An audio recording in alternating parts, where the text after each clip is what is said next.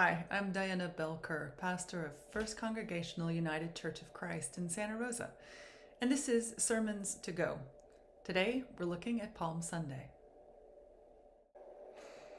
Our scripture comes from the Gospel of John, chapter 12, verses 1 through 19. Six days before the Passover, Jesus came to Bethany, the home of Lazarus, whom he had raised from the dead. There they gave a dinner for him. Martha served, and Lazarus was one of those at the table with him. Mary took a pound of costly perfume made of pure nard, anointed Jesus' feet, and wiped them with her hair. The house was filled with the fragrance of the perfume. But Judas Iscariot, one of his disciples, the one who was about to betray him, said, Why was this perfume not sold for three hundred denarii? And the money given to the poor. He said this not because he cared about the poor, but because he was a thief. He kept the common purse and used to steal what was put into it. Jesus said, Leave her alone. She brought it so that she might keep it for the day of my burial. You always have the poor with you, but you do not always have me.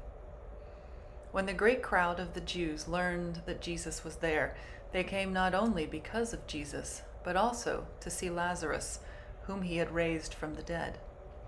So the chief priests planned to put Lazarus to death as well, since it was on account of him that many of the Jews were deserting and were believing in Jesus.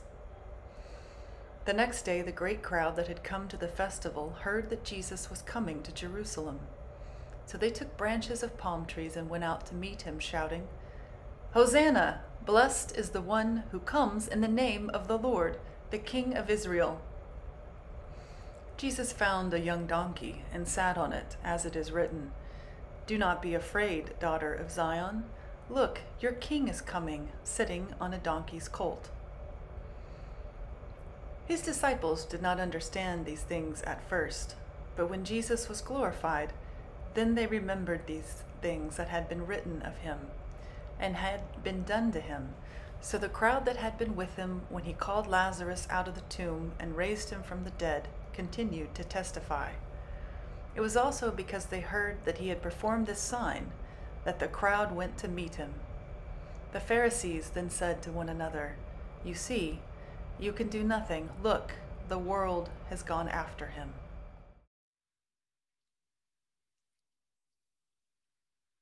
Our dog Fozzie is 11 pounds of sweetness.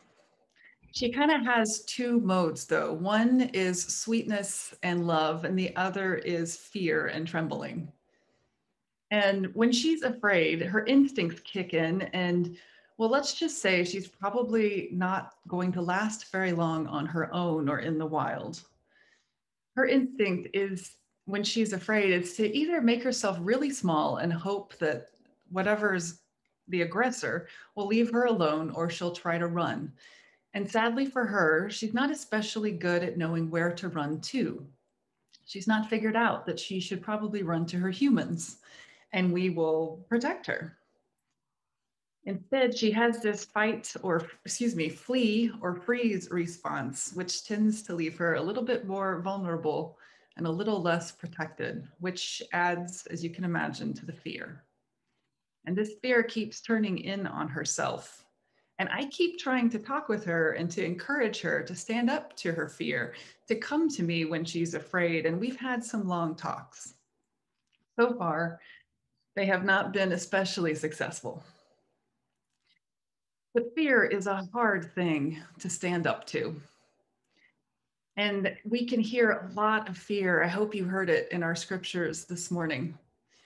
In most of these cases, I think we heard the kind of fear that turns outward, more or less the fight response.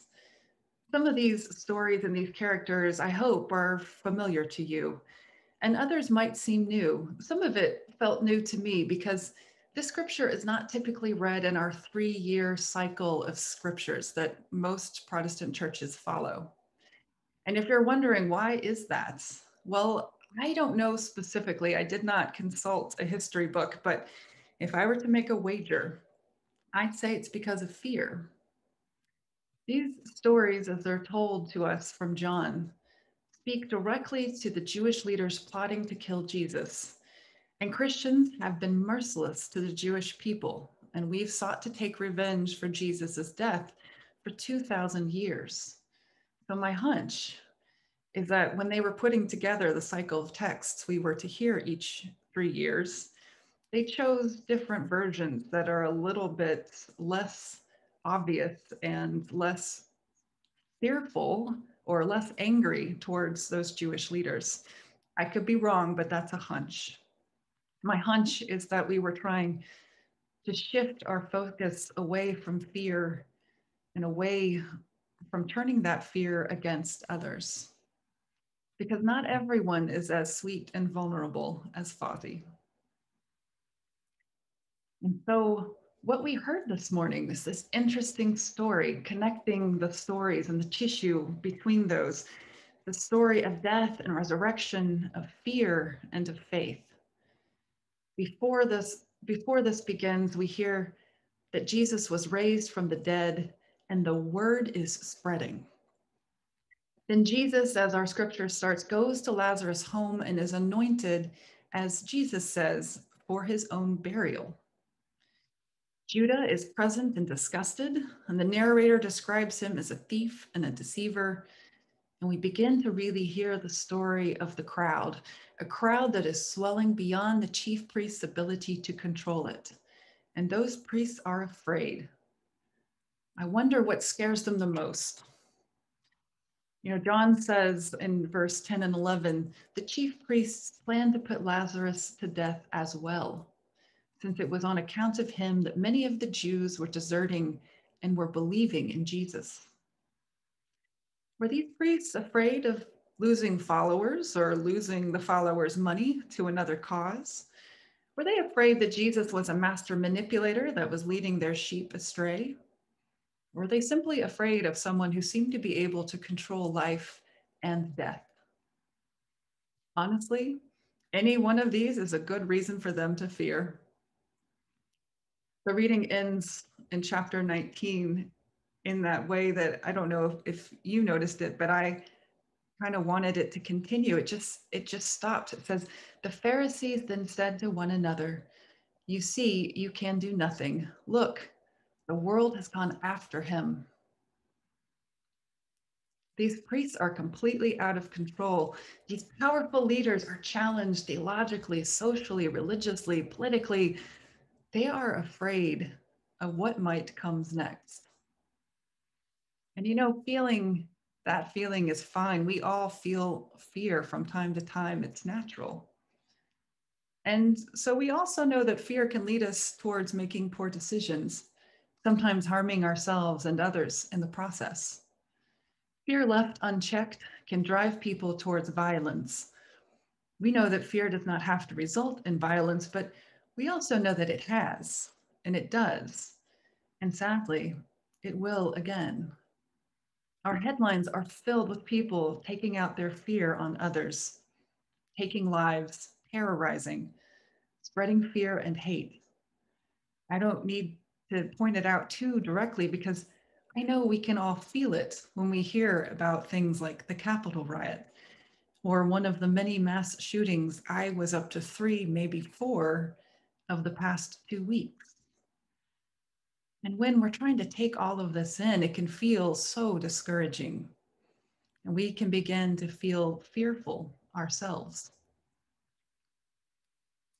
Which is why I want us to look again at this scripture for signs of God's Spirit at work.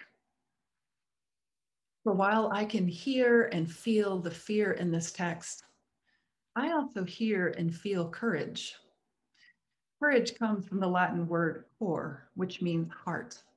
So it means something like take heart. Which reminds me of this quote from Franklin Roosevelt courage is not the absence of fear, but rather the assessment that something else is more important than fear. Something might be more important, more motivating than giving in to our fear. And I suspect love of self, love of others, love of country, love of the earth, something like that. A deep love, taking heart, helps us lean in and overcome a fear that would turn us inward or outward. I wonder if you can name with me the many people within this ancient story taking heart and demonstrating courage. I've come up with a few. Let's start with Mary, who walks into a room of men, opens a jar, washes Jesus' feet, and breaks all kinds of customs and norms. The guests are appalled.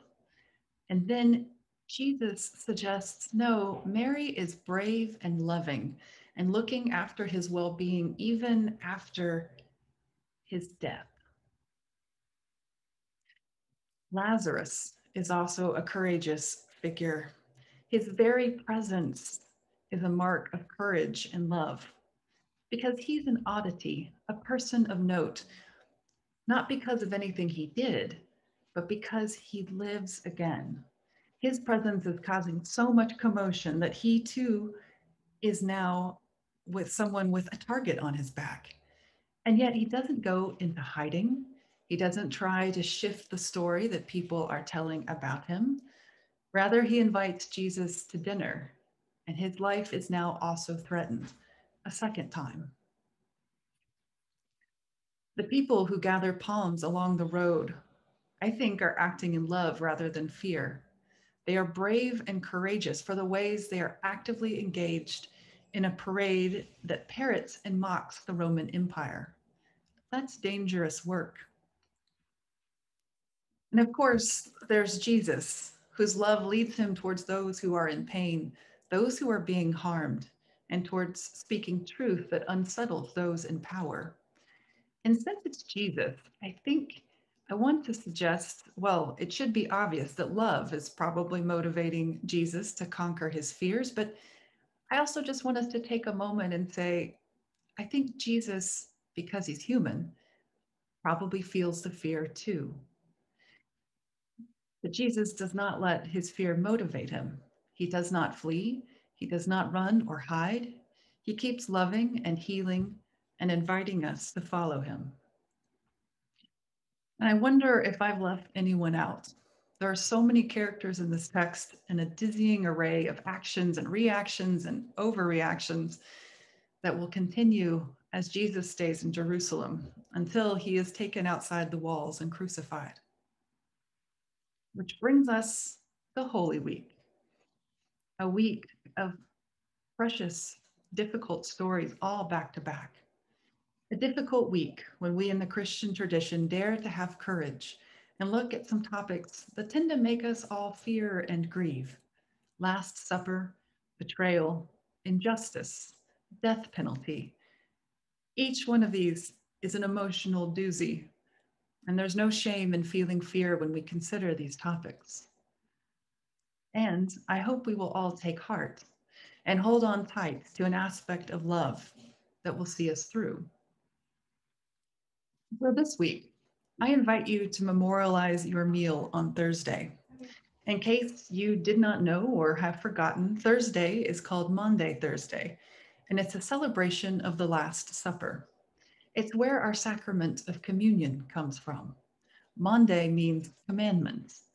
And you may recall that Jesus tells us to take and eat.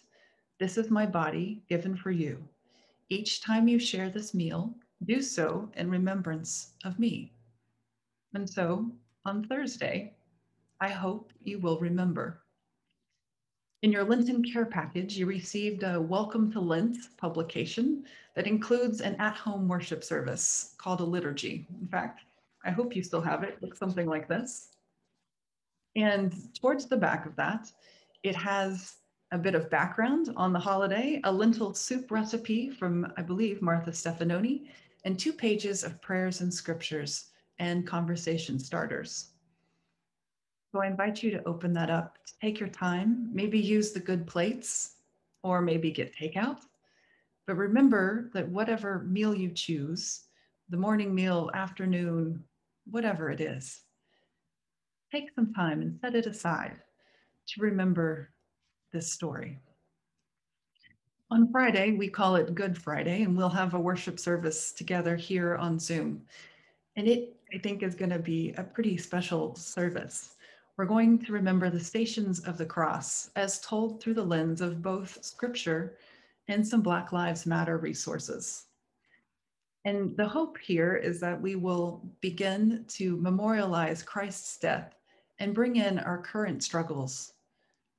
So bring a piece of paper and a pencil to that one, and there will be some interactive pieces along with some more choral pieces from our choir and some beautiful music. And because we know that there is another Sunday on the other side of this fear, on the other side, we know that the despair and fear we may feel this week will not be the final word or the final feeling. And so I invite you, brothers and sisters in faith, to join the crowd, witness the injustice, Feel your feelings, but do not let fear overtake you. For we follow Christ, who again and again leads us and shows us how to draw upon love, that we might live with courage to love and serve in Christ's name. So may it be. Amen.